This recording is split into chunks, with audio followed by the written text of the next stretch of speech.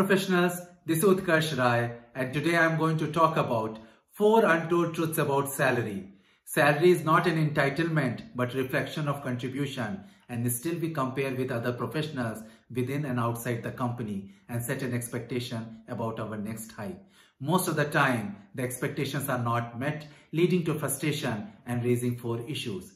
So watch my video until the end where I am going to talk about the truths behind such issues and if you have not already liked and subscribed to my channel then please do it. Also watch my other video, Are you underpaid? What determines a salary?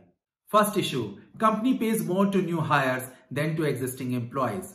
Though salary information is confidential, sometimes news trickle out and if the compensation of new hire is more, it causes an uproar.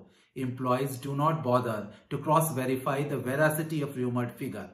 Every job level has a range.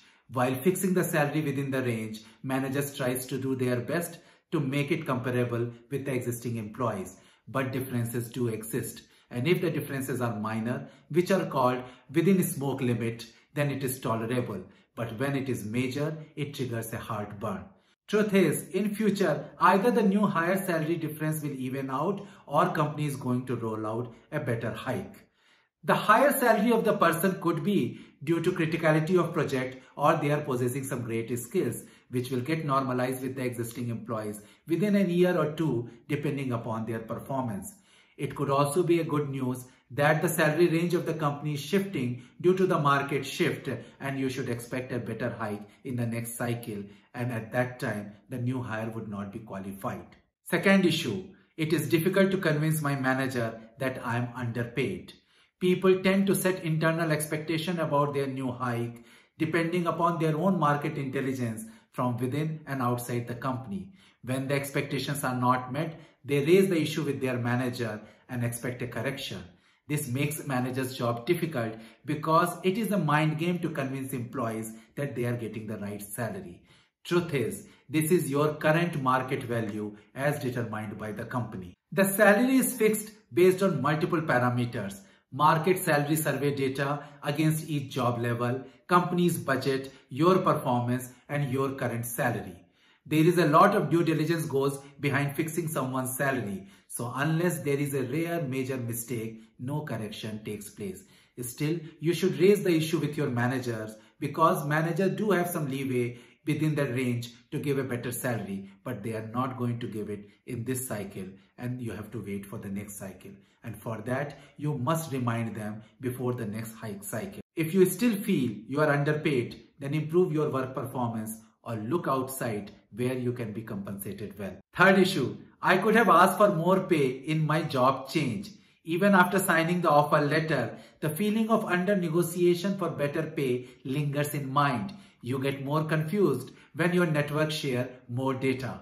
Under that confusion, you put in your paper and your manager start dangling carrot which is going to take away sheen from your new job offer. Some candidates do renegotiate and get something additional but many of them lack the art of negotiation. It might leave a bad taste in your future manager and in some cases the offers are rescinded on the ground that the candidate is not going to fit in the company culture. Truth is, higher salary means higher expectation to perform fast in the new job.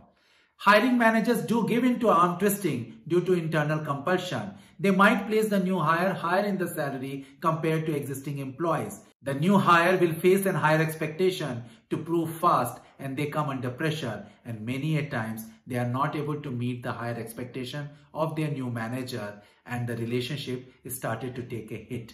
They started to look for a job outside but due to short stay in the new company and a higher pay package, they might find it difficult to do it. So it is better not to renegotiate but to join, perform and reward will follow. Fourth issue, my company is paying well so why to leave? There is no better time but to enjoy working in a high paying company. But still employees leave best paying company because salary alone cannot guarantee higher employee satisfaction or low attrition rate. People are well aware that the currently company has a budget but a few quarters of bad financial result might lead to hike freeze, salary cut or reduction in workforce. Those who enjoy higher wages might find it difficult to find a job outside. Truth is, focus on skill improvement and even willing to take pay cut if the work outside will provide longevity of career.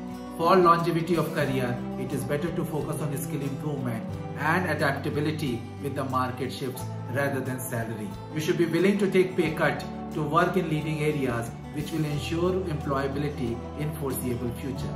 So professionals, you have seen the truth behind these four issues which will help you to navigate your career better.